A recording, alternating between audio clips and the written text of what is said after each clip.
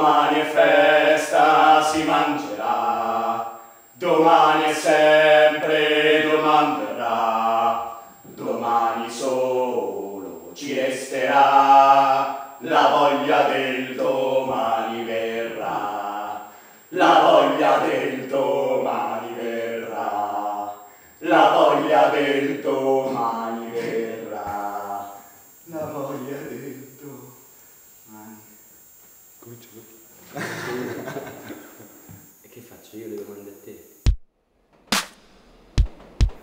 E la cosa, la prima cosa che vi voglio chiedere, trattandosi appunto di, una, di, una, di, una, di, uno spettacolo che mette insieme diciamo, un operaio e uno studente, eh, un operaio che è un operaio morto di fatto e uno studente che è uno studente smarrito, diciamo, che sta su una soglia di precarietà su cui del resto stanno anche molti altri studenti in questo momento, è in quale spazio si svolge questo spettacolo. Si svolge nel, in un purgatorio, in qualche modo, una terra di nessuno, eh, dalla quale è difficile uscire, dalla quale forse non, si esce. Un purgatorio agito già, come dicevi appunto tu, dalla, da un operaio che è già morto e si ritrova lì a vivere quotidianamente, ammesso che esista la concezione del tempo, no?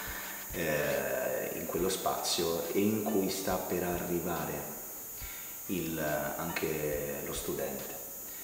Eh, E questo è il senso della delimitazione del ring, diciamo, Sì.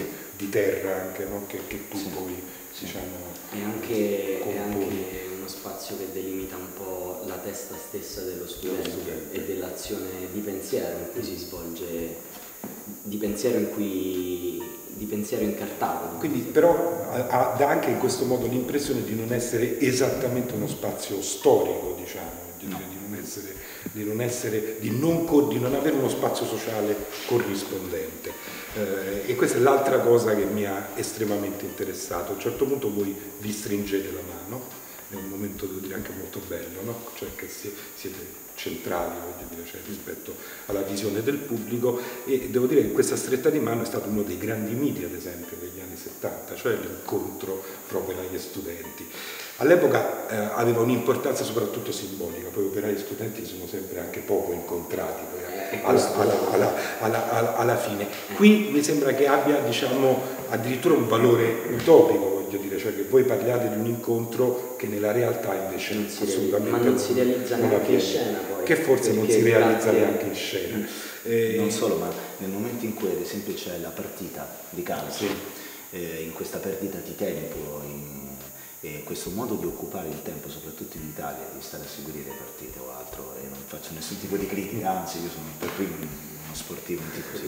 Anche in quello eh, si parte con no, il piede buono a dire va bene, siamo amici, nonostante ciò poi c'è una sopraffazione dell'uno nei confronti dell'altro, per forza di cose perché la realtà, eh, nella realtà si legge questo.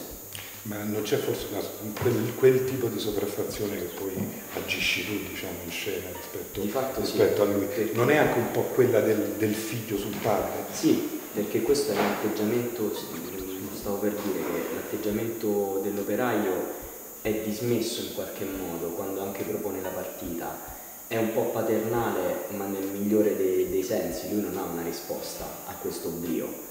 Io non accetto il fatto che lui non abbia una risposta, non mi passa proprio per la capa, come, come si direbbe, e la reazione diventa violenta, fino a provocare lui quasi a, poter, eh, a potermi colpire, a, potermi- a dimostrargli, a dimostrazione del fatto che non solo non ci può essere un'intesa, ma che alla fine sta nella merda quanto ci sto io, quindi non può far finta di niente.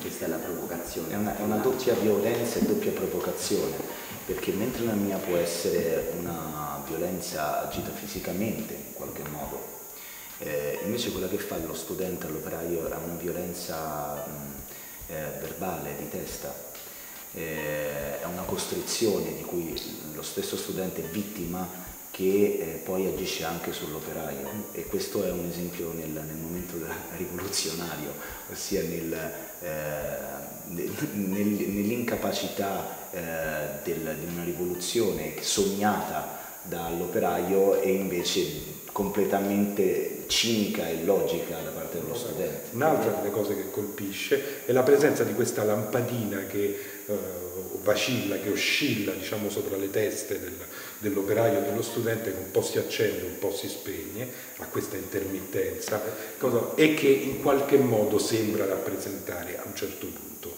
oh, questa figura che da tempo voglio dire non rientra più no, nel, nel, nel, anche, anche, anche, nella rappresentazione, diciamo che è appunto la figura di Dio, che invece ha un, una sua parte diciamo, in questo, in questo sì. testo e anche proprio poi nell'azione, nell'azione, nell'azione scenica. Ecco che, che questo, diciamo, uh, questo, incontro, questo scontro con Dio soprattutto, perché è chiaramente un Dio che non risponde, ecco a questa cosa qui come ci, siete, come ci sei arrivato? Diciamo? Allora, eh, dunque per quanto riguarda la scrittura in versi è perché per come piace il teatro a me e penso che il teatro debba avere necessariamente una componente onirica, spettacolare e onirica. E, e, quindi anche nella scrittura del testo ho pensato da subito a un lavoro sul linguaggio, quindi un lavoro anche sul, sul verso, quando c'è, sulle assonanze, proprio per trasmettere questa oniricità. Eh, per quanto riguarda le luci, eh, quello che abbiamo chiesto a, ad Alessandro è di lavorare molto su un rapporto tra buio e luce, per cui ad esempio non ci sono gelatine, sono tutte luci fredde e solamente sul rapporto tra buio e luce si è andato a costruire poi il resto, che non è solamente il perimetro, tra cui anche la lampadina, che rappresenta non solo lo studiolo dello studente, ma rappresenta appunto una figura impalpabile, che è la figura di Dio, ma come, che però si incarna in qualche modo nella figura anche musicale che è Sinan che è il musicista in scena. Lui parla di oniricità, mm, tu hai parlato di metafisica e secondo me è più corretto. Il livello di luci sono dei livelli anche, lo studiolo è una sala d'attesa dove Dio non risponde, dove ogni tanto appunto la, si accende la lampadina del, della segnalazione di presenza, ma di fatto non accade nulla.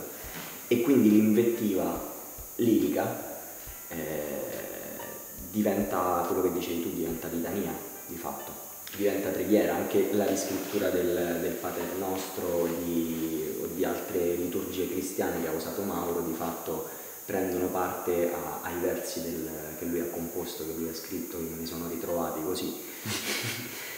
allora però cerchiamo di ricapitolare diciamo, tutti questi elementi e quello che hanno diciamo, in qualche modo in comune. Allora, eh, in entrambi i casi, sia nel caso dell'operaio che nel caso dello studente, siamo davanti a un residuo, perché la classe operaia viene, viene considerata un residuo da diverso tempo. Il fenomeno delle parte, bianche, un fenomeno delle morti bianche già, già, già, già lo è, quindi esatto, esatto. E nel caso dello studente siamo davanti invece a una residualità, diciamo anche lì in qualche modo di, di, quella che è stata addirittura considerata negli anni 60 un, quasi una funzione sociale, una funzione sociale fondamentale, cioè, e, e, via dicendo. Lo spazio di questo spettacolo è a sua volta uno spazio oh, diciamo residuale, di. Dire, di resti, cioè di resti fatto di terra, in cui appunto l'unica cosa che può intervenire è la luce come elemento lui dice onirico, dire, o, forse, o, forse, come dici tu, dire, uh, utopico, metafisico, comunque sia come l'unico a, a, diciamo, elemento che riesca ad ampliare una condizione che invece è una condizione ri, ris, ris, restrittiva. Uh, cioè, non dà l'aria in questo modo di essere uno spettacolo particolarmente ottimistico, diciamo. Cioè, Mia madre l'ha definito un po' lo è. Un po', un po' lo è. Io volevo cercare di scrivere qualcosa che diventasse un oggetto di discussione, che partisse da una discussione e, e che poi potesse essere preso come oggetto di discussione.